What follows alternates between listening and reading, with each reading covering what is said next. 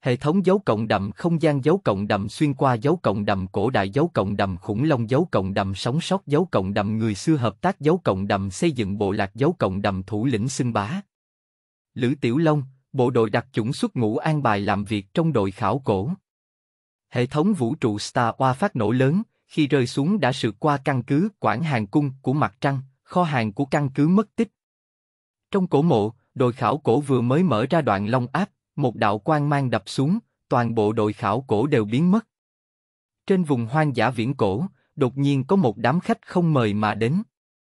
Chương 1 Ai đùa giỡn? Bạn đang nghe tại truyện chấm audio.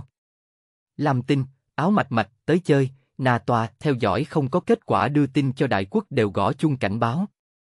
Maxer khu chiên gõ trống chế tạo tên lửa hàng không vũ trụ muốn đi tới sao hỏa định cư, Zuckerberg ở Hawaii, bỏ ra 1,9 tỷ đô la Mỹ xây dựng hầm trú ẩn tận thế. Căn cứ quản hàng cung của Trung Quốc trên mặt trăng đã hoạt động được 2 năm, công trình Nam Thiên Môn cũng sắp hoàn thành. Nhưng tất cả đến quá nhanh, chiến tranh giữa các vì sao giữa Kepler và Alpha trực tiếp ảnh hưởng đến nhân loại. Vũ khí lượng tử trong vũ trụ xa xôi tùy ý tàn sát bừa bãi, trạm không gian các quốc gia đều rơi xuống, hệ thống NASA của Mỹ xảy ra vụ nổ lớn mắt thấy sắp đụng vào mặt trăng. Hàng rào, quản hàng cung đều đóng lại, chuẩn bị va chạm, kết lập, lặp lặp, một trận rung rẩy xẹt qua. Quản hàng cung chủ thể lông tóc không tổn hao gì, bên cạnh miệng núi lửa trong kho vật tư lại bị dòng nước xiết cuốn đi. Toàn bộ tòa nhà biến mất không một dấu vết. Nguy hiểm thật, cuối cùng cũng không va chạm, vật liệu nổ đã đi qua quản hàng cung. Mau báo cáo với tổng bộ, vật liệu nổ hướng tới Lam Tinh, mời các cơ quan liên quan làm tốt công tác phòng ngừa. Phía tây nước Hoa, dưới lòng đất, đây rõ ràng là một tòa cổ mộ, có một tiểu tổ sáu người của một đội khảo cổ, đang khẩn trương tiến hành công tác khai cuộc mang tính cấp cứu. Chuyên gia địa tầng học tiền đông là phó tổ trưởng, những nhân viên khác có chuyên gia khai thác mang tính cấp cứu Ngô Dũng Cường, chuyên gia nghiên cứu văn tự Tôn Gia Di, chuyên gia nghiên cứu mảnh vỡ Lý Tử Hàm. Còn có chuyên gia nghiên cứu phóng xạ Vương Đông Nam, mà lão ngưu ngưu trên người treo đầy túi sách bình nước máy ảnh, chính là đội trưởng đội bảo an Lữ Tiểu Long trong đội ngũ này. Từ sau khi bộ đội đặc chủng xuất ngũ, hắn đã được an bài đến bộ phận như vậy, đừng thấy tiểu tổ chỉ có vài người nhưng có rất nhiều chuyên gia, cho nên đội ngũ rất không dễ mang theo. Nhưng Tiểu Long có rất nhiều biện pháp thu thập bọn họ, dù sao giả ngoại sinh tồn hắn mới là lão đại, cho nên tiểu tổ công tác bình thường nghe lời tiền đông, thời gian khác phải nghe lời hắn. Bây giờ là thời gian làm việc bình thường, hắn chính là chân chạy vặt, đang bị bọn họ sai khiến xoay quanh. Quốc gia là có suy tính, tuy rằng khoa học kỹ thuật đã số một số hai, nhưng thủ đoạn phòng bị vẫn là quan trọng hơn. Nhiệm vụ lần này khẩn cấp nguyên nhân cùng hỏa tinh kế hoạch, tận thế địa bảo kém không nhiều lắm, thuộc về phòng ngừa rắc rối có thể xảy ra. Khi nhân loại gặp chuyện không may cần tận thế địa bảo lúc, làm tin mặt ngoài cũng cơ bản kém không nhiều lắm, đại đạo tới giảng, nhân loại lại chỉ có thể trở lại nguyên thủy nhất thời đại đồ đá đi. Cho nên cổ mộ này rất quan trọng rất quan trọng, nếu như mang đồ vật trở về, thời đại đồ đá của Hoa Quốc cũng phải kết thúc trước các nước khác, có thể sớm tiến vào xã hội văn minh. Két két két. Búa đập cho bụi bặm trong khe đá tào ào rơi xuống, búa điện xèo xèo theo vào chui ra lỗ pháo. Bốn cây là đủ rồi, nổ tung khe hở hai bên cổng là được, đập gãy không cố định được là phế đi. Đập đoạn lông là một loại thiết bị cửa cống mà cổ nhân dùng để chống trộm, phòng trộm, phòng địch nhân, bình thường dùng ở ông thành tường thành, khố phòng quan trọng cùng với mộ thất. Sau khi đoạn long áp buông xuống, vào thời cổ đại đó chính là cục diện hẳn phải chết, bởi vì cửa hầm chế tạo đá xanh nhẹ thì có mấy ngàn cân, nặng thì đạt tới hơn vạn cân. Cổ mộ này đã từng có người đến trộm qua, bất quá thật không may, trộm mộ tặc đụng vào cơ quan bị phong ở đoạn long áp bên trong, bây giờ phỏng chừng thi thể đều lông dài. Mọi người cùng nhau lui ra ngoài khúc cua, bịt lỗ tai ấn điều khiển từ xa, âm âm âm, loãng xoảng. Toàn bộ mộ đạo đều chấn động, bụi mù tản đi một chút, đèn pin cường quang đã khẩn cấp chiếu vào. Mộ huyệt đen nhánh há to miệng, đang chờ bọn họ xông vào. Thành công rồi, đoạn long áp bị chúng ta nổ tung, mau vào xem có hay không. Đội trưởng đội bảo an Lữ Tiểu Long phụ trách mở đường, bật đèn pin là người đầu tiên tiến vào, phía sau mỗi người đều có một tay sách đèn pin, chiếu sáng ngôi mộ như ban ngày. Lữ Tiểu Long đem hài cốt đạo mộ tặc dùng chân trực tiếp chạy đến trong gốc, đi tới chính giữa mộ thất. Một cổ đá mở ra quan tài to lớn vô cùng, đỉnh đầu của nó có hai cái uốn lượn hình rắn đá khắc, một bên đặt một cây cung, một bên đặt một thanh kiếm. Quả nhiên có, quả nhiên giống y như ghi chép trong sử sách, hiên viên kiếm, càng không cung. Tiền đông kích động nhào tới, cũng không dám sờ, chỉ có thể quan sát, cũng kiểm tra xem có cơ quan ngầm hay không, phòng ngừa tùy ý lộn xộn mà phát động trí tuệ cổ nhân. Tất cả đèn tin hướng về thần khí trong truyền thuyết, Lữ Tiểu Long giơ máy ảnh bắt đầu hỗ trợ chụp ảnh, bỗng nhiên. Ông ông ông, toàn bộ mặt đất đều đang rung rẩy, chấn động, lay động, hơn nữa càng ngày càng kịch liệt. Giống như xa xa có một đoàn xe lửa đang lao tới. Chuyện gì xảy ra? Có phải động đất hay không? Không có khả năng, động đất dưới chân có thể cảm giác được, hiện tại cảm giác là trên đỉnh đầu. Một thứ giống như sao băng, nhanh chóng đâm vào trái đất, theo thứ cháy càng ngày càng nhỏ, cuối cùng còn lại một tinh hạch to bằng quả bóng bàn. Quả cầu kim quang lấp lánh, thật khéo đánh vỡ bùn đất đâm vào trong cổ mộ, mộ thất sóng xung kích cường đại bắt đầu sụp đổ, Lữ Tiểu Long theo thói quen bảo vệ mọi người. Năm người vây quanh hiên viên kiếm cùng càng không cung, hắn giang hai tay đem bọn họ bổ nhào, bùng, kim cầu từ sau lưng hắn nện vào, Lữ Tiểu Long bảo táp máu tươi. Tiểu Long. Đội trưởng Lữ. Lữ Tiểu Long nhào về phía trước, tay trái giữ chặt càng không cung, tay phải vỗ vào hiên viên kiếm trên, thân thể nhất thời không có ngã xuống, oanh, một cái hào quang bắn ra bốn phía. Tất cả mọi người chứng kiến Lữ Tiểu Long ngực, từ trong cơ thể bộc phát ra ánh sáng rực rỡ đến, a a. Hai tay hắn chống cung cùng kiếm, khi phát ra a a mũi chân kiển lên, lồng ngực ưỡn lên, đầu ngẩng cao miệng há to, một khắc kia giống như hút hút. Tiếng kêu thảm thiết của hắn giống như hổ gầm long ngâm, giống như muốn phá tan chín ngày, nhưng hào quang đột nhiên co rút lại, giống như video chiếu ngược, vèo một cái trở về. Ánh sáng mãnh liệt khiến trước mắt mọi người xuất hiện mù tạm thời, ánh sáng mãnh liệt làm cho bọn họ cảm giác như lửa cháy hừng hực, ánh sáng mãnh liệt làm cho bọn họ một trận choáng váng. Phu phu phu phu. Mọi người chịu không nổi, tất cả đều té ngã trên mặt đất ngất đi, Lữ Tiểu Long cũng mềm nhũn ngã xuống. Một trận gió thổi qua, cỏ xanh lắc lư, cành cây lắc lư, người trên mặt đất run rẩy mở mắt. Cơ hồ đồng thời, sáu người bị đông lạnh tỉnh lại, lập tức hai tay ôm cánh tay của mình run rẩy. A, quần áo của tôi đâu? A, Lý Tử Hàm và Tôn Gia Di sợ hãi ông lấy mình ngồi sổng xuống không lưng, nhìn trái nhìn phải lại kêu lên sợ hãi. Chúng ta đang ở đâu? Không phải chúng ta đang ở trong cổ mộ sao? Quần áo của chúng ta đâu hết rồi? Sáu người bọn họ tất cả đều trần truồng, hơn nữa không ở trong cổ mộ mà ở hoang vu trên cánh đồng. Tiền Đông cũng đỏ mặt, vội vàng quay lưng lại, Ngô Dũng Cường cùng Vương Đông Nam tiện tay kéo xuống hai phiến lá cây, đem bộ vị mấu chốt che lại. Lữ Tiểu Long cũng không quan tâm, mờ mịt nhìn chung quanh, nâng cao vóc dáng đặc biệt của hắn làm cho mọi người xấu hổ không thôi. Lý Tử Hàm và Tôn Gia Di mặt đỏ tim đập, không dám nhìn nhưng vẫn liếc mắt một cái, đây là ai đùa? Chạy đi, nguy hiểm. Lữ Tiểu Long hô to một tiếng. Chạy lên chỗ cao, mau mau, đây không phải nói đùa, khủng long, là khủng long tới, đạp ngựa chạy mau a. Chương 2 Chủ nhân ta là NASA.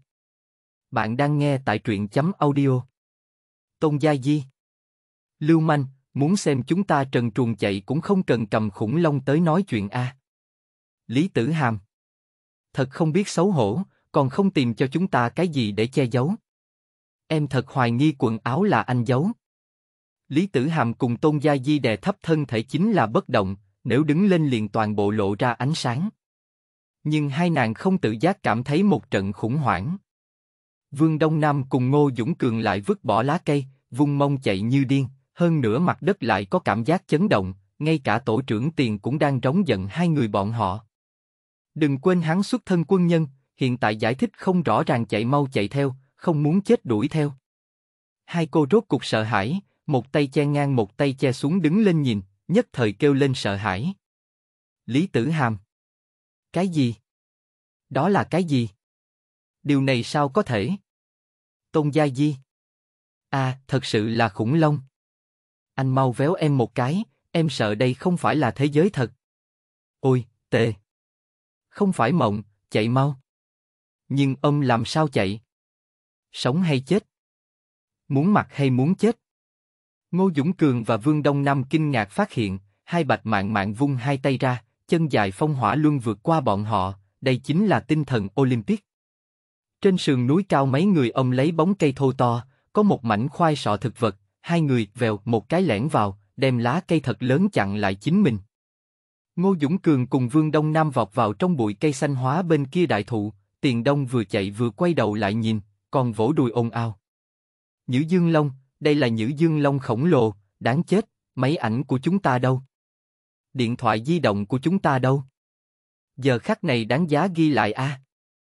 Năm con khủng long khổng lồ theo bãi cỏ thấp đi tới, mỗi một bước dẫm xuống mặt đất đều rung rẩy. Chúng nó đi không nhanh nhưng không chậm chút nào, bởi vì mỗi một bước bước ra đều có khoảng cách hơn 2 mét. Đạp, đạp, đạp. Ngoài cửa bảo tàng địa chất Hà Nam, cho đến nay khung xương của khủng long Nhữ Dương Long khổng lồ lớn nhất thế giới đã chống đỡ ở đó, giống hệt khủng long trước mắt. Khủng long Nhữ Dương dài 38,1 mét, rộng 3,3 mét, cổ dài 17 mét, là loài khủng long to nhất, nặng nhất và lớn nhất từng được biết đến trên thế giới. Khi còn sống, nó có thể nặng tới 130 tấn, tương đương với trọng lượng của 20 con voi. Đặc trưng của đốt sống cổ kéo dài cực độ, chứng tỏ Nhữ Dương Long khổng lồ là một động vật có xương cổ dài. Tiền Đông thiếu chút nữa vọt vào trong bụi cây xanh hóa bên Lý Tử Hàm, nhìn thấy hai cái đầu mới nhanh chóng chuyển hướng, chui vào trong bụi cây xanh hóa của bọn Vương Đông Nam sát vách. Nằm khuôn mặt dưới chiếc lá lớn của khoai tây, quan âm giọt nước, nhìn khủng long đi qua sườn núi, làn da kia giống voi, giống tê giác, lúc này quả thực có thể với tới. Ngô Dũng Cường Tiền tổ trưởng, chúng nó là ăn cỏ đúng không? Đúng, động vật ăn cỏ, khủng long càng lớn đều là ăn cỏ, càng nhỏ ngược lại là ăn thịt, nếu không ăn thịt lớn như vậy, chúng nó đã sớm đem chính mình khô tuyệt diệt. Vương Đông Nam Hả? Lữ Tiểu Long đâu? Đúng vậy, sao không thấy hắn? Hai cái đầu bên cạnh đại thụ thò ra. Tôn Gia Di đầu tiên ồn ào lên. Tổ trưởng, ngươi có phải hay không đã quên nhiệm vụ của chúng ta? Đúng rồi tổ trưởng, đây chẳng lẽ không phải là âm mưu sao? Xuất thân quân nhân ngươi nói không phải là bị nước ngoài xúi dục chứ? Vì sao chúng ta mới vừa mở đoạn long áp đi vào? Lý Tử Hàm phân tích nói. Ta nhớ rõ ta nhìn thấy trên người hắn bốc lên hào quang, sau đó chúng ta mất đi tri giác, đây không phải là một mình ta nhìn lầm chứ? Tôn Gia Di nói tiếp. Cho nên hắn rất đáng hoài nghi, hắn sợ chúng ta vướng bận, vì vậy thừa dịp chúng ta hôn mê đem tất cả đồ đạc đều ném đi, bao gồm cả quần áo hư. Câm miệng. Sắc mặt tiền đông rất không tốt. Lúc ấy mặt đất đột nhiên chấn động, sau đó ánh sáng kia là từ trên xuống dưới, là tiểu long giang rộng hai tay bảo vệ chúng ta, hắn mới bị ánh sáng đánh trúng hộc máu. Giải thích duy nhất không được là quan mang xuyên qua ngực, tại sao lại rút vào trong cơ thể hắn? Khoảnh khắc đó chúng ta bị quan mang làm cho choáng váng, Tiểu Long cũng ngã xuống. Hắn thay chúng ta thừa nhận một kích kia, ta còn tưởng rằng chúng ta sẽ mất đi hắn, không nghĩ tới tất cả mọi người ở đây, cho nên Tiểu Long nhân cách ta là có thể bảo đảm. Hắn tiếp tục nói. Đầu óc các ngươi cũng không cần để tâm vào chuyện vụn vặt, muốn nhảy ra xem toàn bộ sự kiện, ai nói cho ta biết trên Lam Tinh chúng ta nơi nào có khủng long thật. Tôn Gia Di che miệng. Đúng vậy, khủng long đã tuyệt chủng hơn vạn năm rồi. Xem ra chúng ta trách lầm hắn, ngược lại hắn đã cứu chúng ta. Lý Tử Hàm run rẩy miệng. À, vậy, chẳng lẽ chúng ta cũng ra tầm tầng ký? Người ta thật sự tới tầng mới gọi là tầm tầng ký, tôi thấy chúng ta chỉ là tầm long ký. Mọi người lúc này mới buông tha nhìn chầm chầm khủng long, bắt đầu quan sát tình huống bốn phía đập vào mắt khắp nơi đều là màu xanh lá cây. Không phải cỏ thì là rừng cây xanh biếc, đại thụ to như vậy nhìn không thấy đỉnh rất nhiều rất nhiều. Sắc mặt bọn họ trắng bệch, chẳng lẽ đây là kỹ du ra? Chẳng lẽ bọn họ thật sự xuyên qua? Phanh. Ngao. Một tiếng súng vang lên, đem tâm tư miên man của bọn họ tất cả đều chấn kinh trở về. Không phải kỹ du ra, có tiếng súng. Là hắn, là Lữ Tiểu Long. Trong bụi cỏ phía trước bên trái, nam nhân trần như nhộng kia đang nhảy nhót, phía sau không biết động vật gì nhe răng nhếch miệng tiến hành bao vây chặn đường hắn. Phải, là hổ sao? Sao lại nhiều như vậy? Không phải, là sói, cũng chính là tổ tiên sói của thế giới chúng ta. Phanh. Ngao. Ngao ngao ngao. Trái tim sợ hãi của mọi người lập tức bị hấp dẫn, nam nhân thật dũng mãnh a, nhiều sói như vậy bị một mình hắn dắt đi chơi đùa xoay quanh.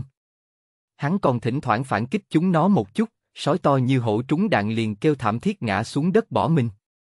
Vừa rồi Lữ Tiểu Long mờ mịt, theo bản năng để mọi người chạy mau, chính mình lại đang không ngừng nhìn trộm trong cơ thể mình, bởi vì hắn tỉnh lại liền phát hiện bí mật của mình. Nguyên lai hắn vừa mở mắt liền nghe được âm thanh nhắc nhở. Chủ nhân, hệ thống đã toàn bộ cấu hình hoàn thành, ta là Na Toa, ta rất cao hứng vì ngươi phục vụ. Lúc ấy hắn cũng mơ hồ, cho nên chưa kịp nói chuyện, nhưng đại não khẳng định là vận hành trước. Hắn đang nghĩ cái quái gì vậy? Hệ thống. Chẳng lẽ hôm nay là cá tháng tư sao? Chủ nhân, hôm nay là ngày 20 tháng 9, không phải ngày cá tháng tư. Ôi trời! Nó còn có thể không cần nói chuyện, trực tiếp xem hiểu tâm ngữ của ta. Vâng, chủ nhân. Vì vậy Lữ Tiểu Long không cần nói chuyện, trực tiếp cùng nó câu thông lên. Na Toa, ngươi vì sao ở trong thân thể của ta? Tôi đến từ không gian và tôi phải tìm ra năng lượng cần thiết trước khi tắt máy tự động, thực ra tôi đã bị thu hút bởi cung càng khôn. Nhưng là ta phá vỡ mặt đất lại phát hiện ngươi chặn càng khôn cung, cho nên ngươi bị ta bắn chết, ta xuyên qua thân thể của ngươi đi ra, lại không ngờ ngươi là thiên tuyển chi tử. Bởi vì nhân gian không ai có thể khống chế được hiên viên kiếm cùng càng không cung, chúng nó mới bị chôn xuống dưới đất, mà lúc ấy ta tập kích ngươi, ngươi bởi vì đau đớn một tay giơ lên hiên viên kiếm, một tay giơ lên càng không cung.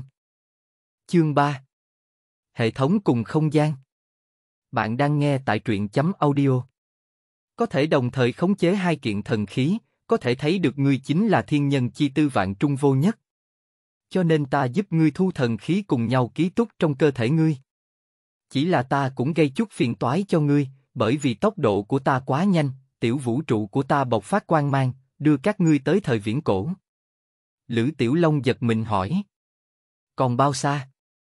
Trước công nguyên ước 8.500 năm thời đại đồ đá mới, các ngươi bây giờ ở vào Hán tộc tiền thân, cũng là hoa hạ tộc tiên dân, nơi này là Hoàng Hà lưu vực khởi nguồn nơi. Họ đã tạo ra văn hóa cổ hồ, văn hóa quan đại cũ, văn hóa bùi lý cương, văn hóa ngưỡng thiều và văn hóa long sơn, từng bước chuyển từ xã hội mẫu hệ sang xã hội phụ hệ. đầu má xa như vậy. Vậy ngươi còn không mang chúng ta trở về? Chủ nhân, nà Toa làm không được a. Anh nói cái gì? Anh đưa chúng tôi tới đây, bây giờ lại không đưa về được. Đó không phải là điều tôi có thể khống chế, tôi từ vũ trụ lao tới tốc độ phi hành quá nhanh, đầu sỏ thật sự là ánh sáng thời gian chứ không phải tôi. Lữ Tiểu Long tức muốn ngươi trứng dùng ngươi còn muốn ăn không ở trong thân thể của ta. Na toa. Sẽ không chủ nhân, ta tại Quảng Hàng Cung không cẩn thận kẹp theo một cái kho hàng, ta đều tặng cho ngươi, hiện tại ngươi không chỉ có có được ta, còn có được ăn uống không xong sử dụng không gian vật tư vô tận. Cái gì? Trên tiểu thuyết nào nói đều là thật. Hệ thống. Không gian. Còn đều bị ta gặp. Ta đây làm sao tiến vào không gian? Cũng là ngẫm lại có thể tùy ý lấy đồ vật trong không gian sao? Chủ nhân, ngươi đã biết, ta đây phải nghỉ ngơi may mắn đúng lúc đuổi tới, nếu không ta cũng tan thành mây khói, ách không nói, ta ông càng khôn cung bổ sung một chút năng lượng rồi nói sau. Này, tôi còn có chuyện chưa hỏi xong đâu. Đang sạc, biển báo điện cao thế biển báo điện cao thế biển báo điện cao thế. Được, cô thật sự ngủ rồi.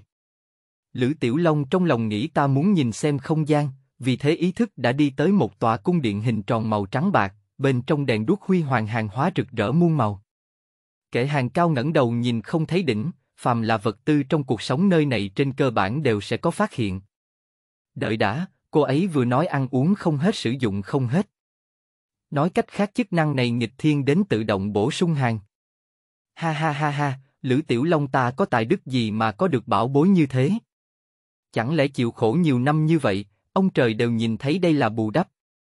Lúc trước chảy máu đổ mồ hôi không phải là vì có thể ở lại trong bộ đội sao? Nhưng cũng không trứng, còn không bằng tân binh từ đại học tới, người ta đến mạ vàng liền đem danh ngạch chen đi. Trước khi đi còn đưa ra một đề tài lựa chọn, một lần lấy 700 ngàn hoặc là do chính phủ sắp xếp một công việc. 700 ngàn mua một chiếc xe sẽ không còn, mình không có bằng cấp thì có thể làm gì? Vậy thì chọn một công việc đi. Kết quả đi tới tổ này, không đi công tác vẫn rất thoải mái, sáng chín tối năm giống như thành phần tri thức. Nhưng vừa đi công tác chính là lão bò tót cách mạng, nói là đội trưởng đội bảo an, thuần túy là một tư lệnh không quân. Năm đội viên tất cả đều là chuyên gia, văn bằng nổi tiếng A. Vốn tưởng rằng có một công việc an ổn, có bạn gái liền ổn định kết quả giới thiệu vài người, người là bị người ta coi trọng, nhưng lại ghét bỏ hắn là bảo vệ A. Không nghĩ tới hôm nay bản năng cứu mọi người một chút, vậy mà vận may từ trên trời rơi xuống, chính mình trúng màu. Tùy tiện đi bộ một vòng, ăn uống được dùng, văn thể đồ dùng, vũ khí đạn dược quả thật mọi thứ đều đầy đủ. Lấy ra, bỏ vào, chơi đến quên cả trời đất. Ngao ô. Không tốt quá nhập tâm, có giả thú tập kích chính mình lại còn không có phát hiện, hắn thoáng cái thu hồi ý thức.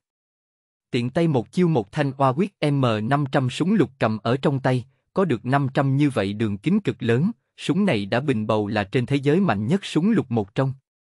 Sức mạnh khổng lồ của nó đủ để một phát bắn hạ một con gấu nâu, thậm chí có thể trực tiếp xuyên qua tường xi măng. Trong nháy mắt đã bị hắn đánh lộn hai đầu, nhưng đám súc sinh này không chút sợ hãi vẫn cuốn lấy hắn không buông.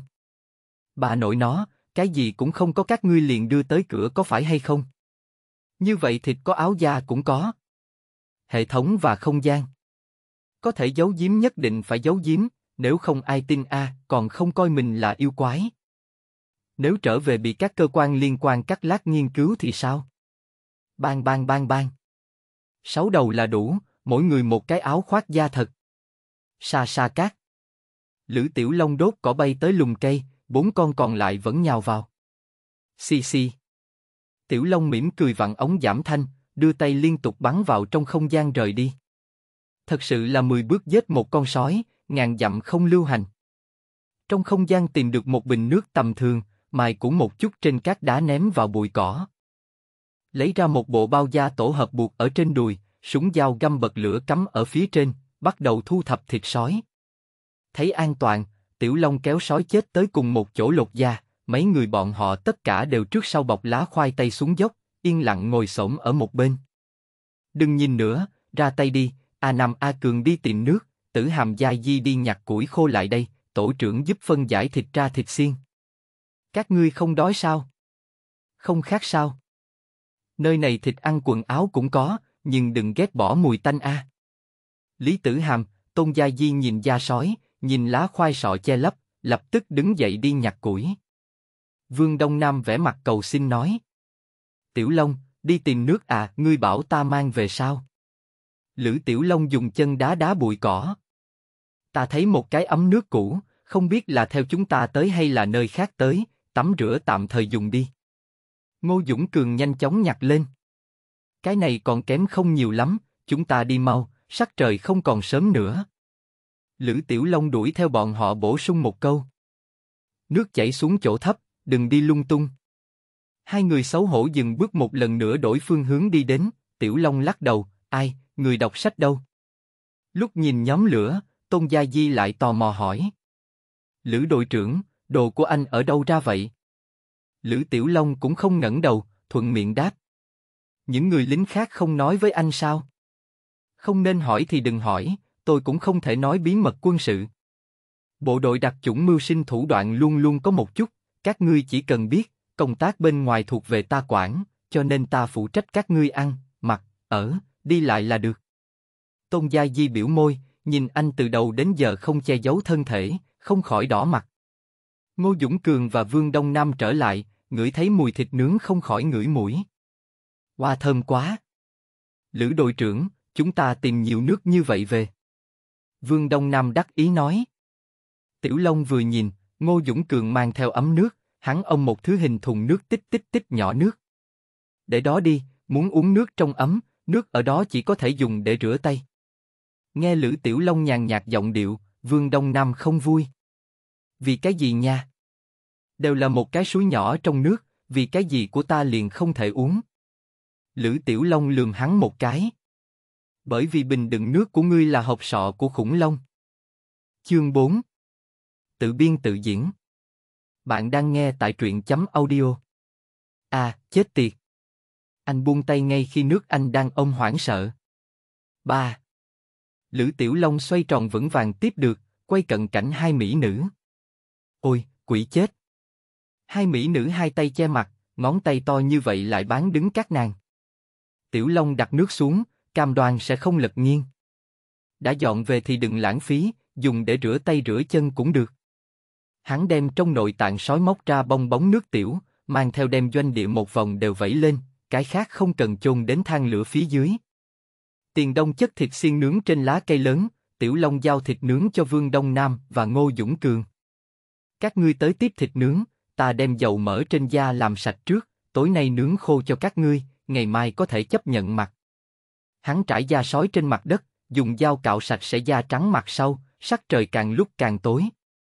Lữ Tiểu Long lại bỏ thêm một đống lửa, bắt đầu tranh thủ thời gian nướng da mặt sau thịt, cạo sạch sẽ vẫn là đầy dầu mỡ, hong khô một chút thì tốt hơn nhiều. Mùi vị nướng bay trong không khí có chút khó ngửi, làm cho các mỹ nữ tâm tình không tốt khẩu vị lại càng không tốt, mới ăn mấy miếng đã không muốn ăn. Vậy các ngươi nghỉ ngơi sớm một chút đi, khối da này có thể dùng, trải trên mặt đất ngủ đi. Ngao. Xa xôi trên cánh đồng hoang, không biết nơi nào thỉnh thoảng truyền đến giả thú tiếng gọi, để trống trải đồng quê có vẻ thê lương vô cùng. Cảm ơn Lữ đội trưởng. Lý Tử Hàm nhận lấy kéo da trải bên đống lửa. Da sói to bằng con hổ, trên bụng xé ra, hai người nằm chen chúc cùng một chỗ vừa vặn. Tiểu Long bớt chút thời gian đem thịt bọn họ ăn thừa, lén lút vẫy muối ăn như hổ đói, tiếp tục đi da công da. Bọn họ ăn không vô, một nửa nguyên nhân là không có mùi vị, vừa tới ngày đầu tiên khẳng định còn không quen, cũng không thể nuông chiều bọn họ, đói vài ngày phân cũng sẽ ăn.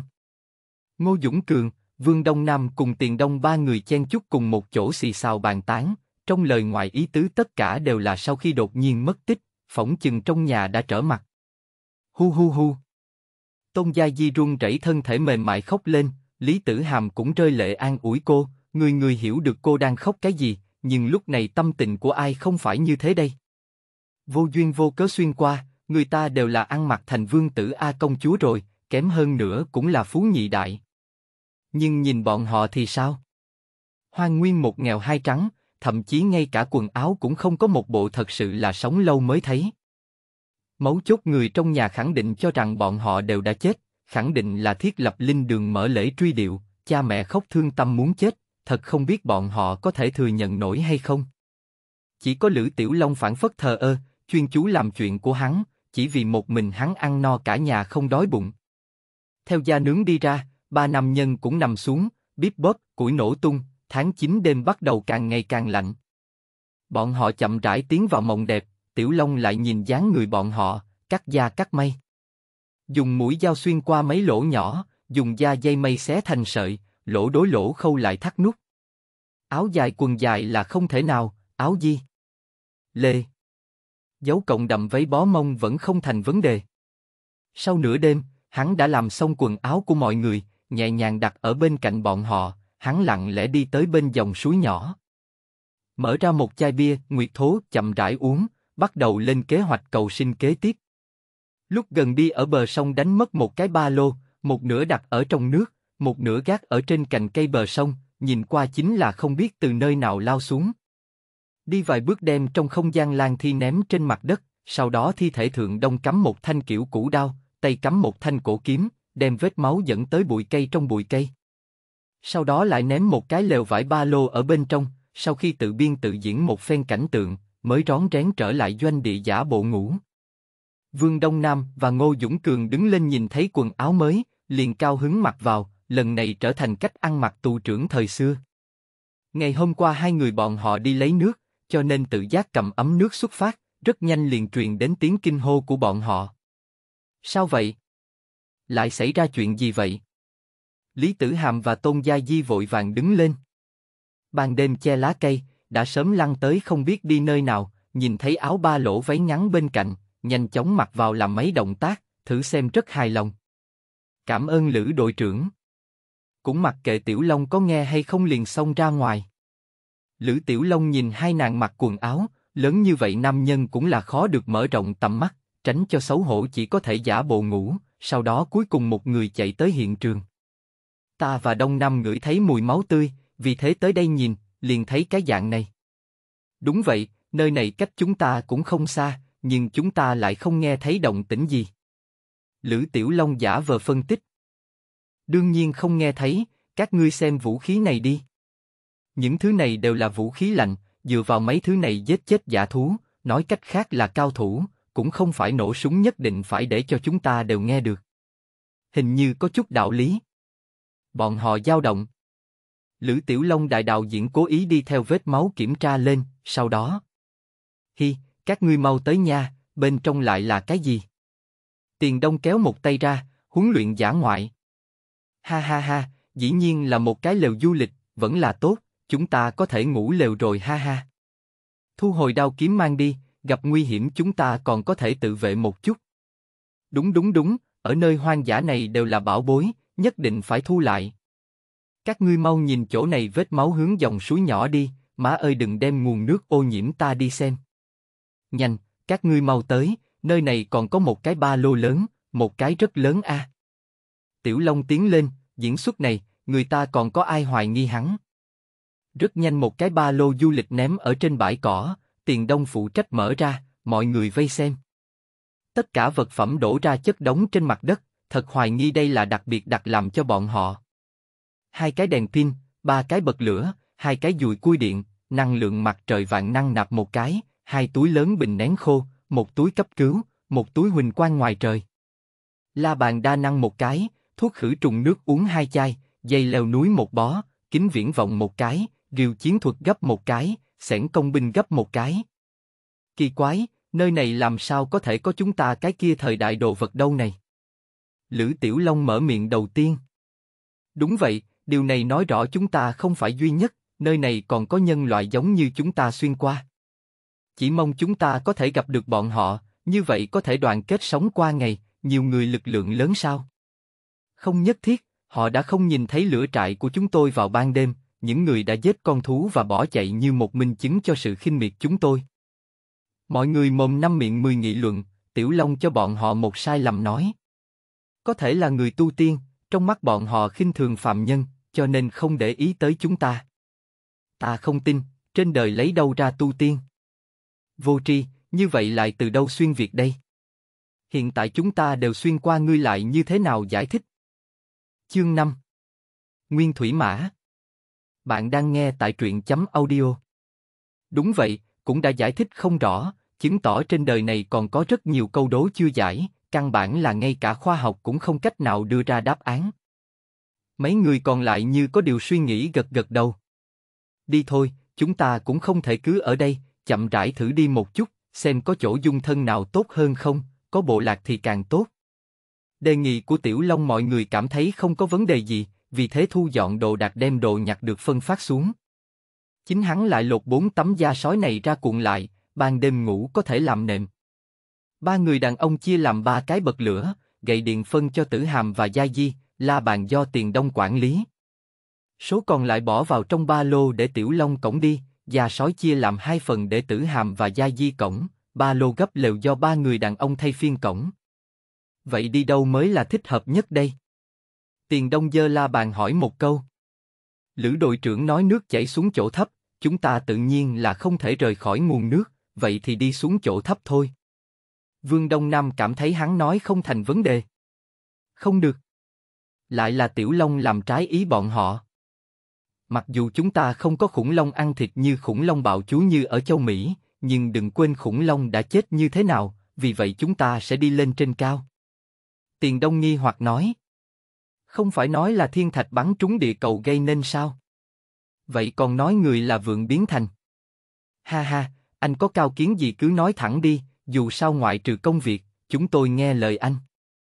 Lúc đầu hoa hại nhiều nhất là hồng thủy, trước khi đại vũ trị thủy, hồng thủy trạch quốc là chuyện thường xuyên xảy ra. Hiện tại khắp nơi đều là hoang nguyên, mưa to chính là lũ lụt, chỗ thấp là nơi bất cứ lúc nào cũng có thể gặp tai ương ngập đầu, sau này đào rất nhiều đường sông mới chậm giảm. Trung Nguyên đại địa cơ bản chỉ có ăn cỏ khủng long, nhữ dương long, lương long, cổ tay long, áp chủy long, chúng nó đều không phải chúng ta lớn nhất uy hiếp, chúng ta chỉ cần phòng ngừa gấu, lợn rừng, lão hổ, bầy sói là được. Đương nhiên, nghe nói thời xa xưa cũng có sư tử và voi, tê giác và cá sấu, nhưng đây chỉ là số ít, vì vậy sáu người chúng ta nhất định không được tùy ý rời khỏi đội. Hiểu rồi, vậy chúng ta đi về hướng Tây. Đội ngũ thuần một màu nâu, một màu xám đen trang phục da sói đi lại trên cánh đồng hoang, liếc mắt nhìn ra ngoài mấy chục dặm đều là màu xanh lá cây căn bản không có người ở. Sáu người xuyên qua tới, không chỉ có là Trần Như Nhộng, liền Gia Di, tử hàm trên người khuyên tai, nhẫn cũng không thể mang tới, thật là trần truồng đến, ngoài trừ Tiểu Long không gian chịu không được ảnh hưởng. Hiện tại đoàn người bọn họ hành quân trên thảo nguyên, liền có vẻ đặc biệt đột ngột, đám động vật trong bụi cỏ đều đang nhìn trộm bọn họ. Thảm thực vật rộng lớn vô ngần phi thường phong phú, động một chút chính là từng mảng từng mảng rừng cây, mang đến cho đi tới không ít phiền toái bởi vì không thể hành quân thẳng tắp. Mới đi chưa tới 2 giờ, hai cái mỹ nữ liền chịu không nổi, đặt mông ngồi ở trên cỏ lại cảm thấy bất nhã, nhanh chóng đem hai chân kẹp chặt cái này chết tiệt khoảng trống. Ai nha đi không nổi, chân của ta tất cả đều là trầy da, ô ô ô không có giày làm sao đi a. Gia Di cùng tử hàm thương tâm vuốt ve bàn chân trắng nõn, thật đúng là bị một ít lá cỏ tranh trên bãi cỏ, róc rách tất cả đều là vết máu nhẹ nhẹ. Tiền Đông, Đông Nam cùng Dũng Cường kỳ thật cũng không kém nhiều lắm, chỉ là đại nam nhân sĩ diện còn kiên cường chịu đựng. Vậy nghỉ ngơi một chút đi, mỗi người ăn một miếng bánh bích quy nén uống chút nước, tôi làm giày cho các cậu. Tiểu Long lấy ra một tấm da sói, cắt thành từng khối từng khối, xé da dây mây chà sát thành dây thừng nhỏ. Đến đây, đưa chân của ngươi cho ta. Tiểu Long ngồi sổng xuống đem một mặt da sói có lông bọc lấy chân Gia Di, sau đó dùng dây thừng nhỏ buộc chặt mắt cá chân của nàng. Gia Di chân bị Tiểu Long đắn đo, cảm giác có chút ngượng ngùng, nhưng bây giờ là cầu sinh cũng không phải nghiêm trang thời điểm, bình thường cao ngạo nhất định phải vứt bỏ. Rất nhanh mọi người đều mang giày ống ngắn không có đế giày, dưới lòng bàn chân có đá vẫn cấn người như thường, nhưng dây leo gai cỏ thậm chí rắn độc đã không cần sợ. Cảm ơn Lữ đội trưởng, như vậy sẽ thoải mái hơn nhiều. Ha ha, giày da sói có bán được không? Cái này cũng chỉ có chúng ta mới mang được chứ. Cũng không biết còn phải đi bao lâu, bảo vệ tốt chân là quan trọng nhất, hay là Tiểu Long có biện pháp? Tiền Đông lớn hơn Tiểu Long hơn nữa còn là phó tổ trưởng, cho nên hắn luôn gọi Tiểu Long Tiểu Long, những người khác đều nhỏ hơn Tiểu Long, bởi vậy bọn họ đều gọi hắn là Lữ đội trưởng. Một khối bánh bích quy nén xuống bụng, lại uống mấy ngụm nước nhất thời tinh thần sung mãn, mọi người lại xuất phát. Nhìn thấy Tiểu Long bò lên sườn núi, những người khác cũng nhanh chóng bò lên nhìn bốn phía. Wow, đẹp quá a! nếu chúng ta không phải ở nơi hoang dã cầu sinh, dựng lều cắm trại ở nơi đẹp như vậy, ba năm hảo hữu uống rượu nướng thịt thật sảng khoái a. Trời ạ, nhìn không thấy đầu đều là cỏ dại mọc thành bụi đất hoang, ở đời sau nơi này không biết là thôn nào trấn nào thổ địa nha, như vậy hoang phế quá đáng tiếc.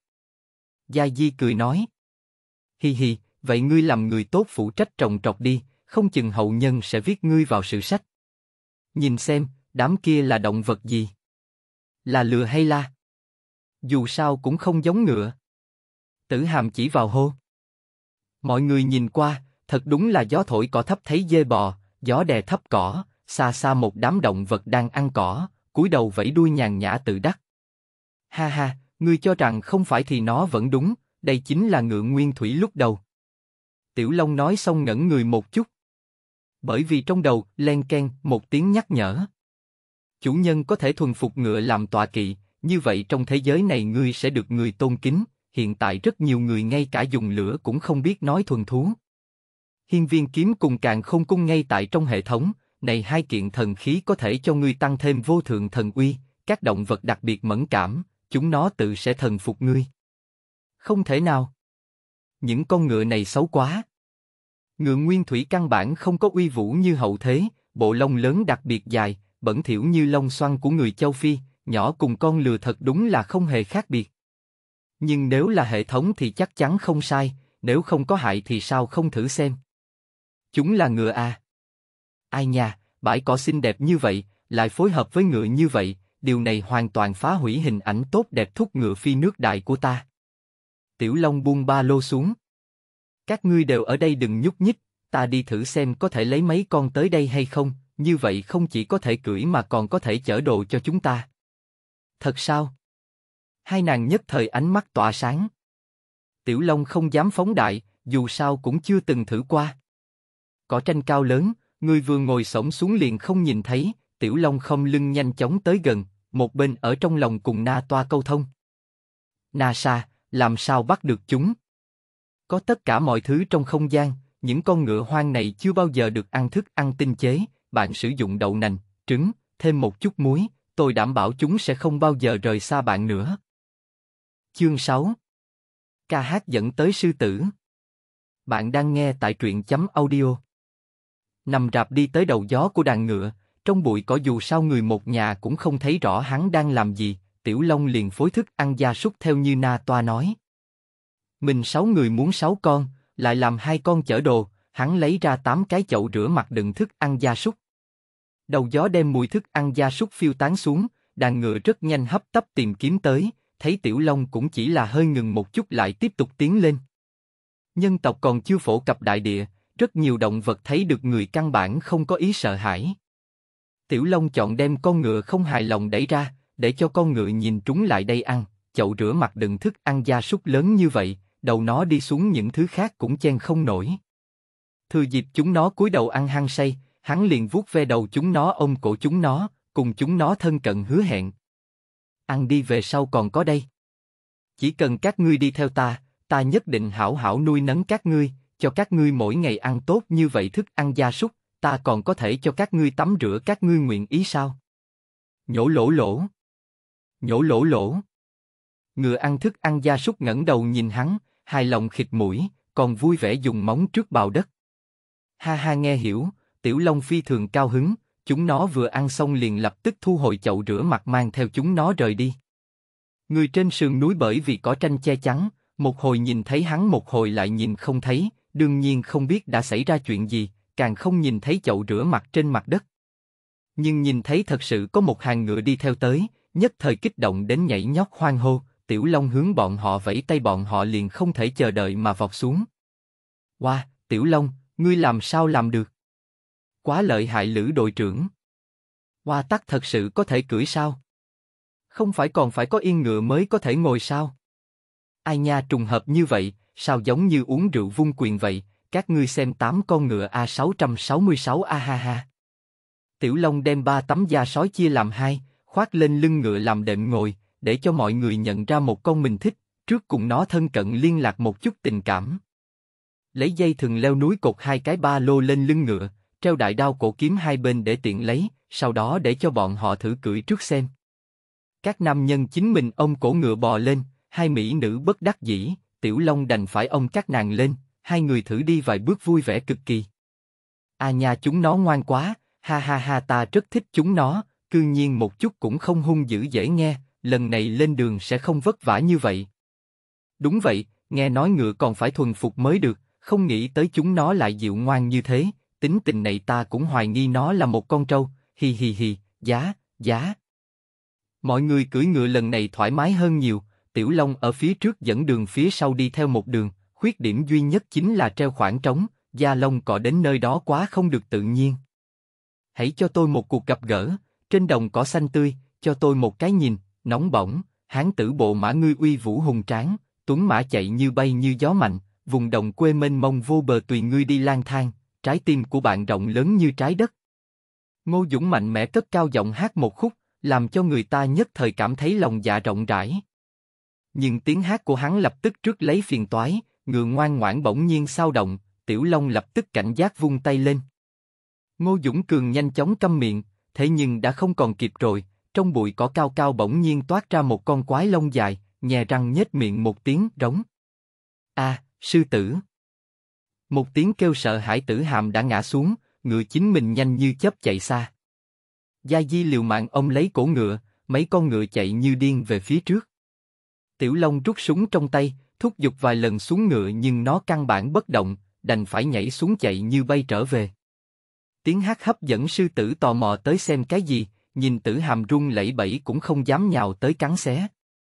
Tử hàm căn bản không dám nhìn thẳng nó, rưng rưng nước mắt tận lực cúi người, trong lòng nghĩ lời tạm biệt với cha mẹ. Sư tử ngửi mũi, bởi vì mùi vị rất phức tạp, có ngựa có người, còn có da sói phát ra, cho nên nó không xác định thứ này có thể ăn được hay không. Tiểu Long cũng không xác định chúng nó có phải có một đám hay không, vì thế vung súng lục thét to. À à à, đi mau đi mau mau cút đi. Hống. Sư tử gầm nhẹ một tiếng, vương đầu lưỡi vẫy môi hai cái, chớp chớp mắt lui về phía sau vài bước. Nó tự hồ rất sợ hãi Tiểu Long, Tiểu Long cũng không xác định có phải là thật hay không, dù sao có vũ khí ở trong tay, vì vậy cũng đi theo tới gần vài bước. Đi mau, chúng ta là tồn tại ngươi không thể trêu vào, đừng tự mình tới tìm không thoải mái, ta vừa nổ súng ngươi sẽ chết biết không? Mau về nhà bú sữa điên ngoan. Phốc suy. Tử hàm bị hắn chọc cho nước mắt nước mũi cũng chảy ra, cảm thấy tiểu long ở đây liền có cảm giác an toàn, thoáng cái đứng lên trốn đến sau lưng hắn. Sư tử quả nhiên lại lui về phía sau vài bước, a tiểu long dứt khoát tiến lên vài bước, hung dữ nói với nó. Đi mau, nếu không ta sẽ tức giận. Ồ, sư tử chui vào trong bụi cỏ, mấy người nhảy nhót không thấy bóng dáng, chẳng lẽ chúng nó sợ ta? Tiểu Long nghĩ thầm. Ha ha, ngựa trở về. Sư tử rời đi, con ngựa cũng tiếp tục ngoan ngoãn, hắn hô vài câu thật đúng là hướng hắn dựa sát lại. Lữ đội trưởng, ngươi có thể đi làm thuần thú sư, ngươi thật lợi hại, cảm ơn ngươi đã cứu ta một lần nữa.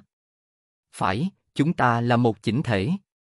Tiểu Long lại ông nàng lên lưng ngựa, mọi người tập hợp đội ngũ lại. Mẹ ơi, làm con sợ muốn chết, sao thật sự có sư tử? Gia Di nghĩ mà sợ nói. Không có lỗi với tử hàm, không phải con mặc kệ mẹ, là ngựa tự mình chạy. Ta biết, đều là ta không có bản lĩnh. Vương Đông Nam ân cần hỏi. Không sao chứ tử hàm. Không sao, lữ đội trưởng dọa nó chạy mất rồi. Tiền Đông cảm khái nói. Tiểu Long ngươi thật đúng là nhân tài a, ta phát hiện cơ hồ không có chuyện gì khó được ngươi, có ngươi chúng ta thật sự là may mắn. Đi thôi, Tiểu Long cưỡi ngựa tiếp tục dẫn đường. Sắp trưa rồi, chúng ta phải tìm một nơi an toàn ăn chút gì đó rồi nghỉ ngơi một chút. Hắn cũng muốn thử bản lĩnh của mình, vì thế không lưng ông ngựa nói. Ngươi dẫn đường đi, giúp ta tìm một chỗ có nước. Ngốc khò khò khe. Con ngựa vừa lắc đầu liền chạy chậm, vòng qua một cánh rừng liền thấy được một mảnh hồ nước. Bọn họ đến kinh động động vật bên hồ, nhất thời trong rừng cây, trong bụi cỏ, tất cả đều là thân ảnh kinh hoảng thò đầu ra đánh giá bọn họ. Đẹp quá, nước này thật sạch sẽ, không có chút ô nhiễm công nghiệp nào. Đúng vậy, đây mới là thiên nhiên. Mọi người nhao nhao xuống ngựa, đi tới bên hồ rửa tay rửa mặt, còn trực tiếp nâng lên uống nước. Thoải mái, vị ngọt ngào. Như cũ các ngươi ở lại đây, trong rừng tìm một chút cành cây khô, lúc hành động đừng tản ra cũng đừng đi xa, mang theo vũ khí phòng thân, ta đi phụ cận xem. Chương 7 Sản vật phong phú Bạn đang nghe tại truyện chấm audio. Đã có lỗi xảy ra trong quá trình lấy test. Chương 8 Lôi điện biến thân Bạn đang nghe tại truyện chấm audio. Ha ha, ngươi là tới thêm đồ ăn đúng không? Tiểu Long không khách khí vung đại đao lên, mấy điểm máu vọt lên đầu rắn bay ra thật xa, thân thể rắn thoáng cái ngã xuống đất. Thật sự là không biết tự lượng sức mình. Nhặt đồ xong trở lại doanh địa, vừa thấy tất cả mọi người đã trở lại. Ai theo ta ra bờ sông lấy đồ, có phượng lại có rồng, hôm nay bổ sung cho mọi người một chút. Chúng ta đi thôi. Tử Hàm cùng Gia Di đuổi theo. Hắn đem ống trúc đũa rửa sạch sẽ để cho các nàng cầm về, chính mình đem da trắng lột, nội tạng ném xuống sông, rửa sạch sách về cùng nhau bỏ vào trong nồi. Sau khi đun sôi rút củi để lại hai ngọn lửa nhỏ ở bên trong chậm rãi hầm, sau khi ngửi thấy mùi thơm cho thêm hành tỏi cần tây, rau hẹ, rất nhanh một nồi thịt cùng canh đã hoàn thành. Ăn một chút bánh bích quy nén, cái này cả canh lẫn thịt đừng khách khí, ăn đi. Ngoại trừ không có vị mặn ăn quá ngon, ngón trỏ đại động không một ai cam nguyện rớt lại phía sau, gặm bánh bích quy uống canh, thường thường gấp một chút thịt nhai thanh ngọt. Thịt trắng hai chúng ta không ăn, ít trâu để lại cho chúng ta nhiều một chút, quá ngon, lữ đội trưởng, ta thật sợ đi theo ngươi lưu lạc ngược lại ăn béo đi không nổi nha. Tiểu Long cũng không ngẩng đầu lên nói. Ăn ngon một chút thì ăn nhiều một chút, cũng không phải mỗi ngày đều may mắn như vậy, nói không chừng có lúc phải đói bụng một ngày. Đúng đúng đúng. Tiền Đông gật đầu nói. Khắp nơi hoang sơn giả lĩnh, không gặp được đồ ăn cũng có thể, nên bổ sung thêm một chút đừng đến lúc đó chết đói. Vương Đông Nam cùng Ngô Dũng Cường vừa nghe, vội vàng lại rót một chén canh, phốc phốc phốc, vừa thổi vừa uống. Sắc trời dần dần ảm đạm, Tiểu Long chiếu cố bọn họ. Trời tối không nên chạy loạn, ngươi xem ta giết một con rắn nói rõ cái gì? Đừng cắn ha.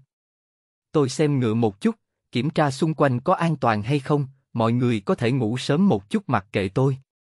Tiểu Long đi vào trong rừng cây cho ngựa ăn một chút thức ăn gia súc, không cần nhiều, dù sao cỏ xanh đã ăn. Sau đó đi tới bờ sông điều chỉnh dây câu từ không gian, mồi nhữ, cắm vài sợi dây quăng xuống sông. Trở về mọi người đã vào bên trong, lều trại không tính là nhỏ, nhưng sáu người nằm xuống vẫn rất chật chội.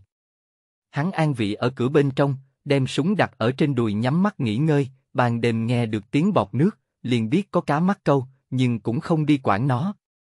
Nơi xa xôi có tiếng thú gầm, phụ cận ngoại trừ tiếng côn trùng kêu gió lay cành cây, một đêm coi như an toàn. Tiểu Long đi ra trước lấy cành cây gọt nhọn, sau đó thu dây câu lại, quả nhiên đều có cá. Thời đại không người đánh cá này, cá trong nước sông vừa lớn vừa thèm ăn, nhỏ đều nặng ba bốn cân.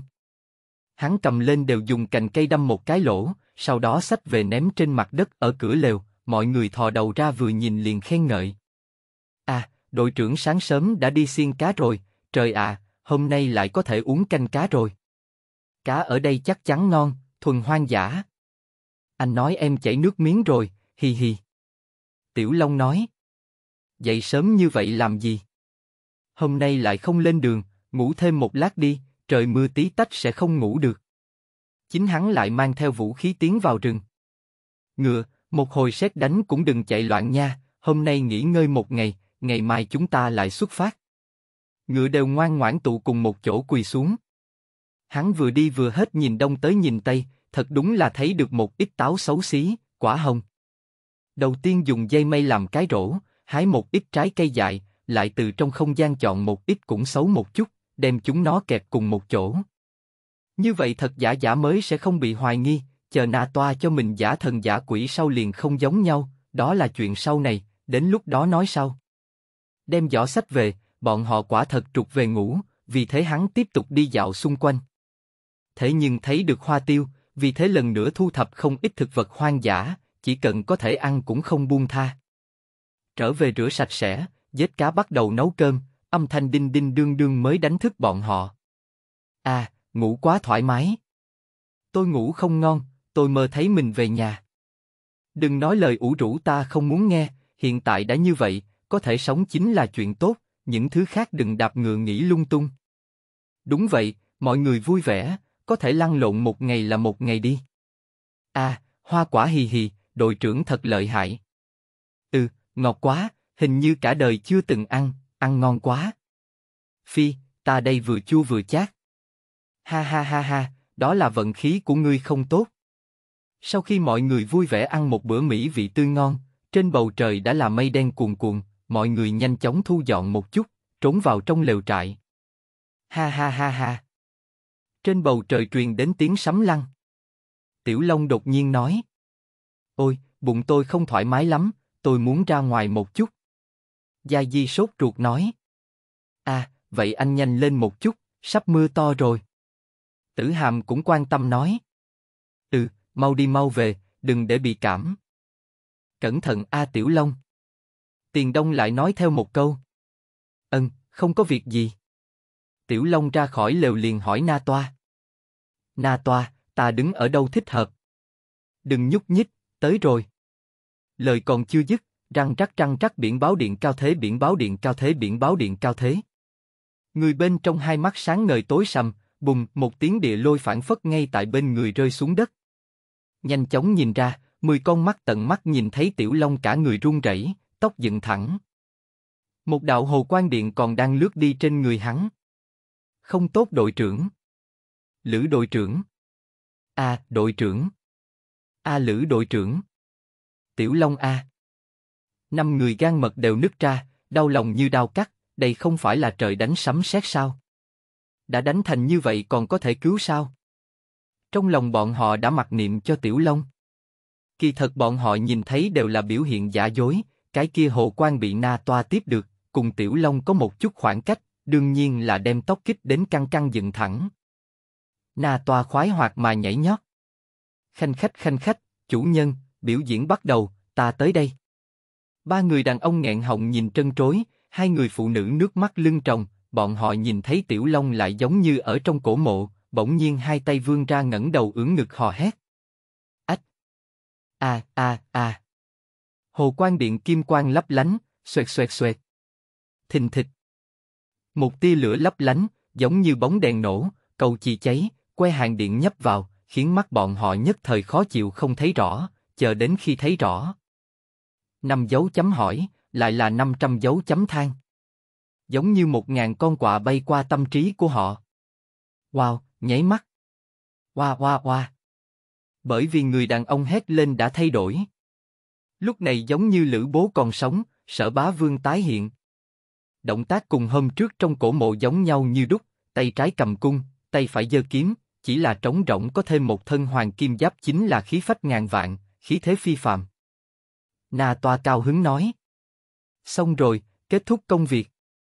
Tiểu Long chậm rãi ngửa ra sau, ngã xuống đất, oanh một tiếng cũng không nhúc nhích. Mắt thấy sấm sét đi qua, năm người mới tỉnh ngộ lại, đội trưởng, đội trưởng, đội trưởng. Bọn họ vọt tới Tiểu Long bên người, nhìn cái này không thể tưởng tượng nổi một màn, một giây trước còn là cái người hiện đại, nhưng lúc này cũng đã thành một vị đại tướng quân. Nhìn vũ khí trong tay, tiền đông ánh mắt như chuông đồng. Hiên viên kiếm, càng không cung. Chương 9 Nghĩ thầm có được hay không? Bạn đang nghe tại truyện chấm audio.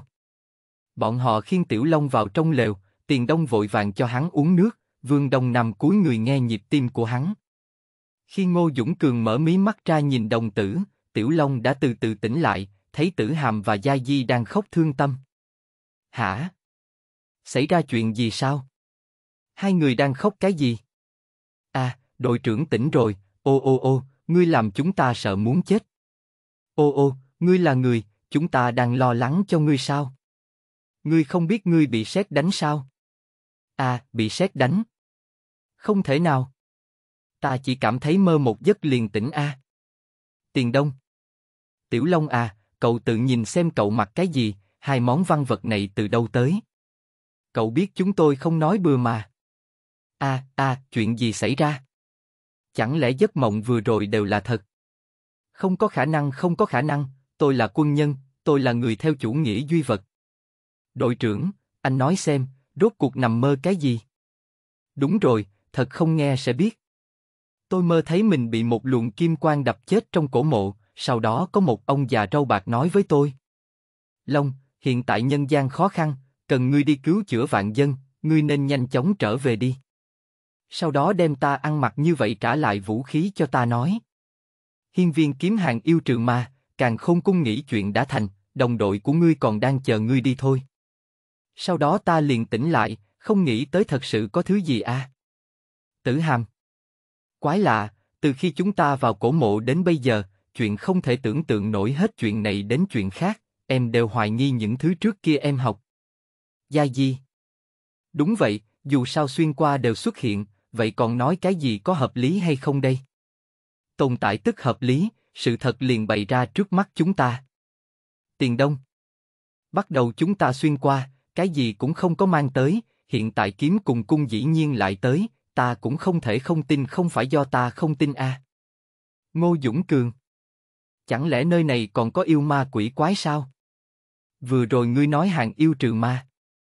Vương Đông Nam. Còn có càng không cung có thể tâm tưởng sự thành, nào có thần kỳ như vậy? Tiểu Long cầm lấy cung nói. Làm sao có thể chứ, mộng chính là mộng các ngươi còn tưởng thật.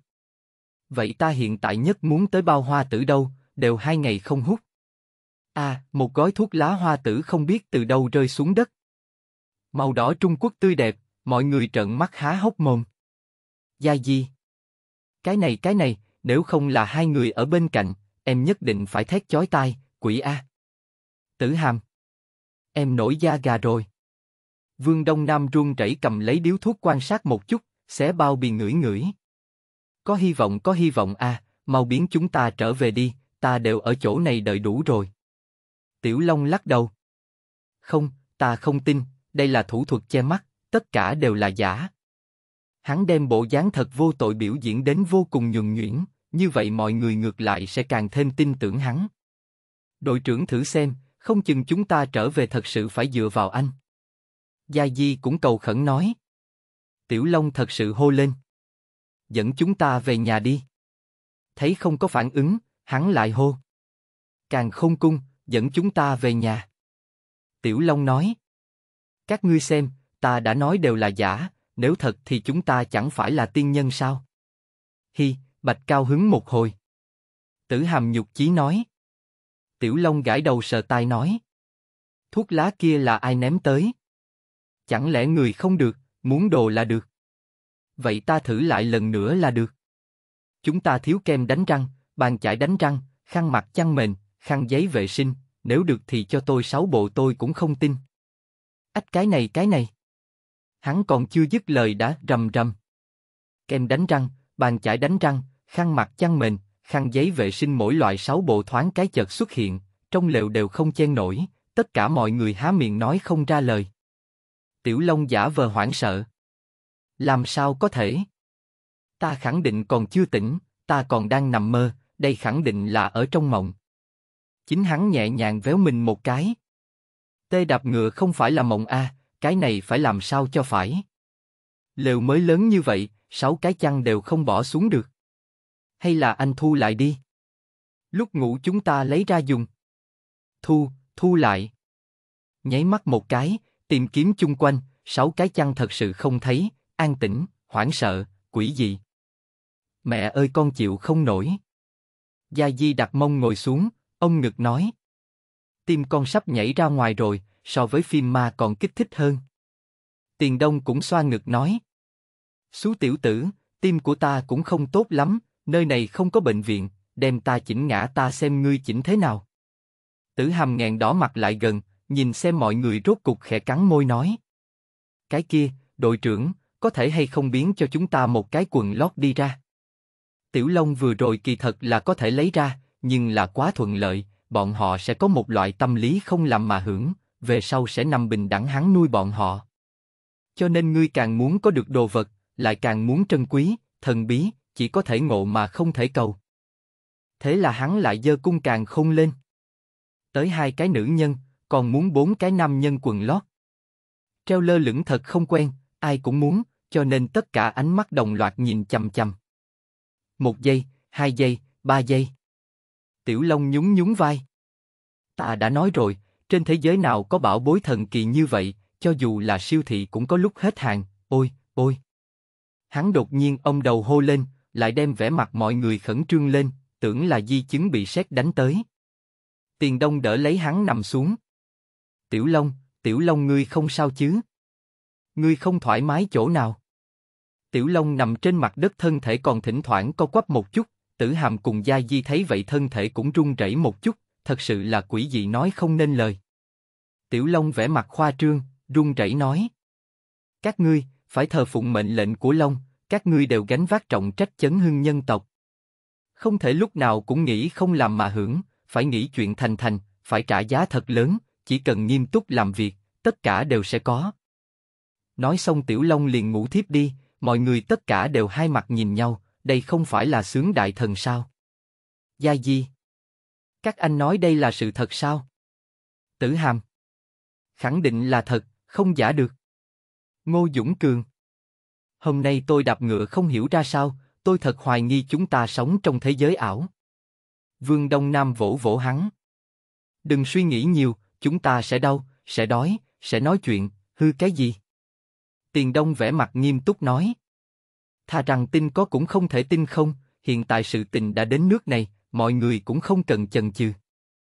Nữ hoa thời xưa, Phục Hy, Sơn Hải Kinh đều là thật, cho nên chuyện của Tiểu Long cũng là thật. Điều này chứng tỏ bình thường chúng ta không làm việc ác, ông trời vẫn chiếu cố chúng ta, biết chúng ta đến xã hội nguyên thủy, liền an bài kỳ tích trên người Tiểu Long. Từ nay về sau chúng ta phải đồng tâm đồng đức đi theo Tiểu Long làm việc, như vậy chúng ta mới có thể sống sót tốt hơn, về phần cái gì chấn hưng nhân tộc, vậy thì thuận theo tự nhiên đi. Chương 10 Khoảng không dây cung đi săn Bạn đang nghe tại truyện chấm audio. Tiểu Long nghe bọn họ trao đổi rốt cục yên tâm, về sau chính mình coi như phát sinh cái gì kỳ kỳ quái sự tình, bọn họ sẽ không ngạc nhiên là được. Hắn tâm niệm vừa động, khôi giáp cùng cung trên người, kiếm đều thu vào trong không gian, lộ ra bộ dáng vốn có của hắn. Quả nhiên, bọn họ không còn cường điệu như lúc đầu nữa, cho rằng đây là dáng vẻ bình thường của hắn. Dù sao trời vẫn còn mưa, hắn cũng lười động, ngủ thẳng đến hoàng hôn, mà mọi người cứ như vậy nhìn bên ngoài, ngây ngốc ngồi mấy giờ. Ôi, sao tôi lại ngủ? Ngủ đến hôn thiên hắc địa các người cũng không đánh thức tôi. Tiểu Long ngồi dậy, kinh ngạc vỗ vỗ thân thể mình. Ồ, giáp trụ của ta đâu? Nó tự biến mất khi bạn ngủ. Đúng đúng đúng, cung và kiếm cũng cùng biến mất. Đội trưởng, pháp thuật của anh vẫn còn chứ? Đúng rồi, cung không thấy còn có thể đưa chăn về sao? Tiểu Long gãi gãi gáy. Ta cũng không biết, nếu không ta thử lại xem. Trả lại cho tôi sáu cái chăn đi. Phát phát phát. Sáu cái chăn đột nhiên xuất hiện, Tiểu Long ngồi trong nháy mắt bị đập xuống bao phủ, ha ha ha ha ha, tất cả mọi người đều cười đến lăn tới lăn lui. Hắn đem sáu cái chăn xếp ở trong góc, lại thử nói. Không biết có thể ăn cơm ở chỗ chúng ta hay không? Năm đôi mắt nhìn hắn ở nơi đó khoa tay múa chân. Cho một phần mì thịt bò, thịt bò nhiều một chút. Một chén mì nóng hầm hập đi ra, mùi thơm xông vào mũi, làm cho người ta không khỏi ngón trỏ đại động. Lão tiền, đây là người thích ăn nhất. Tiểu Long đẩy qua, Tiền Đông vẫn là có chút không dám cho là thật, cẩn thận trước gấp một khối thịt bò bỏ vào trong miệng. Trong nháy mắt nước mắt hạnh phúc chảy xuống. Ừ ừ chính là vị này, ô ô em còn có thể ăn mì thịt bò quê nhà, ha ha hiện tại em thật sự yên tâm. Đội trưởng. Tử hàm nhất thời hai mắt tỏa sáng. Cho tôi một phần cây FC được không? Thần côn ở nơi đó vung vẩy nửa ngày. Cây FC, tôi muốn một phần cây FC. Kết quả không xuất hiện, trong lòng mọi người cũng không cảm thấy thất vọng, đã sớm phát hiện nó không đáng tin cậy. Kỳ thật muốn cái gì có cái đó, nhưng Tiểu Long muốn hiệu quả này. Ai, xem ra không có, vậy ăn một phần gà rán đi. Vèo, một cái khay, một phần gà rán thơm ngào ngạt xuất hiện. Dạ, chỉ cần là gà rán là được, ha ha, ta đây ăn trước. Gia Di. Em muốn một phần cơm sườn hầm. Vèo, nghĩ thầm chuyện đã thành. Mọi người đem món mình muốn ăn tiểu long phụ trách biến hiện, đương nhiên mọi người đều biết nó không phải vạn năng. Nhưng luôn có thể đổi đến thức ăn tương tự, cứ như vậy, một bữa tối vui vẻ giải quyết. Mọi người không còn vẻ mặt u sầu, cảm thấy cuộc sống có hy vọng, sáng sớm hôm sau đều cầm bàn chải đánh răng hì hì. Tới cầm đi, đây là quần lót của hai người, rất mềm mại, tôi cảm thấy rất tốt. Quần đùi da thỏ được làm rất bằng phẳng, Gia Di và Tử Hàm vui mừng không thôi, đỏ mặt trốn trong rừng cây mặt vào. Kết quả vừa mở ra, bên trong lăn ra mấy gói khăn gì, a, à, quỷ chết, nó rất thân thiết. Hi hi, hắn làm sao biết ta sắp tới? Người ta bây giờ là lữ bán tiên, mau thu đi, cái này không cần để trận mông hi hi. Tiểu Long lại đưa tay vèo một cái, lều trại ngay cả chăn mền bên trong toàn bộ biến mất, mọi người không bao giờ thu dọn nữa, tất cả đều hài lòng đến không muốn không muốn. Mỗi người một cái bánh bao một ly sữa đậu nành, đội ngũ lại xuất phát, một đường đi về hướng Tây. Mọi người đều là người một nhà, sau này ta sẽ không gọi tên nữa. Tiểu Long nói với bọn họ. Tổ trưởng đương nhiên là Lão Tiền, Đông Nam tôi gọi cậu là Tiểu Vương, A Cường gọi là Tiểu Ngô, Tử Hàm là Tiểu Lý, Gia Di là Tiểu Tôn, các cậu gọi tôi là Tiểu Long và đội trưởng tùy ý. Hi hi, không phải cậu nói rồng sao? Vậy tôi gọi cậu là Long đội. Ừ, Long đội rất thú vị, cũng rất dễ nghe. Đúng vậy, vậy thì thống nhất đi. Được, vậy quyết định rồi. Ngày hôm sau trước mắt xuất hiện dãy núi. Tử hàm cao hứng nhảy dựng lên. Được rồi, chúng ta đến cao điểm rồi, rốt cục không cần lên đường nữa. Tiểu Long nhìn dãy núi không lớn hùng vĩ không có lên tiếng, trước nhìn một chút rồi nói sau, dù sao tất cả mọi người rất vui vẻ. Lão Tiền nhìn một chút nói. Vậy vào núi xem một chút đi, hy vọng có thể tìm được nhân tộc. Vào núi cũng chỉ có thể xuống ngựa đi đường, nhìn mặt đất cùng rừng cây này, Tiểu Long không thể không tiếp tục làm phép. Rất nhanh mỗi người nhận được một đôi giày chiến thuật cao cấp của bộ đội đặc chủng, da trâu mềm chống trượt, rất thích hợp leo núi. Vượt qua một ngọn núi sắc trời liền tối tăm. Tìm chỗ đóng quân đi, trời tối dễ dụ dạ thú tới. Tiểu Long bắt đầu tìm chỗ có nước. Rất nhanh mọi người dừng lại bên dòng suối nhỏ, len ken thùng thùng, chỉ có bãi đá này thôi. Mọi người dùng chân đẩy đá cuội ra, dọn dẹp một chỗ bằng phẳng, lều trại liền ném xuống.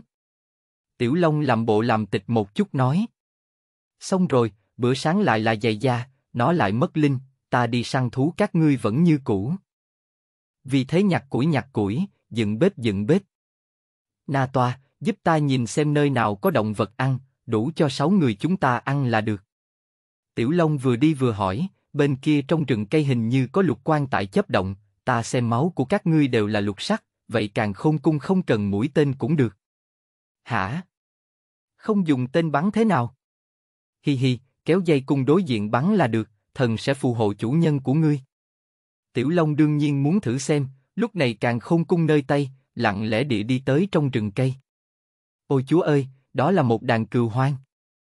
Chúng nó cũng phải qua đêm, một đám vây quanh cùng một chỗ nằm rạp trên mặt đất nghỉ ngơi, chỉ có hai đầu trước sau đứng gác. Tiểu Long liếm liếm môi, mùi thịt dê đã hồi vị, nhìn chọn đầu nào liền giơ tay. Cái gì? Một tiếng cảnh báo bầy cừu lập tức tản ra, làm cho người ta hoa cả mắt, đáng chết, sao lại linh mẫn như vậy? Chủ nhân cẩn thận, không phải ngươi kinh động chúng nó, có một con báo sắp tới. Trong đầu lời còn chưa dứt, sao xạc, lá cây trên mặt đất phát ra tiếng chạy trốn cấp tốc. Một đạo bóng đen nhanh chóng lẻn vào, đối với dê hoang liền phát động tiến công, mị, mị, mị. Bầy cừu hoảng sợ chạy tứ tán, Tiểu Long rốt cục thấy rõ bộ dáng báo tử, trong lòng đối với nó định là bữa tối đêm nay, cái đầu của nó cũng không lớn. Kỳ thật cùng dê cũng không kém bao nhiêu, bộ lông màu nâu nhạt, thân thể cao lớn tứ chi mạnh mẽ, hai mắt tỏa sáng. Tiểu Long nhanh chóng kéo cung bắn dây cung, bằng một tiếng, hắn lập tức thu cung cầm súng trong tay. Ai biết không huyền có đáng tin hay không, hay là súng lục có xúc cảm, nắm ở trong tay liền cảm thấy an tâm. Ai biết hắn thật đúng là dư thừa lo lắng, cái kia dây cung kình phong bay ra ngoài, vô hình phong đao, dĩ nhiên một đao liền cắt bay đầu báo tử. Một cái đầu thật lớn, miệng còn nhe răng nhếch miệng, cứ như vậy ném bay ra ngoài, theo bánh xe sườn núi lăn xuống. Phốc. Báo tử thân thể ngã trên mặt đất máu chảy đầy đất, tiểu long hài lòng mà thu thương, đi qua kéo nó chân sau bỏ chạy. Không cần sợ, các ngươi nghỉ ngơi đi, quấy rầy. Đám dê hoang nhìn bóng lưng hắn rời đi, thế nhưng đồng loạt quỳ xuống. Mị, Mị, Mị.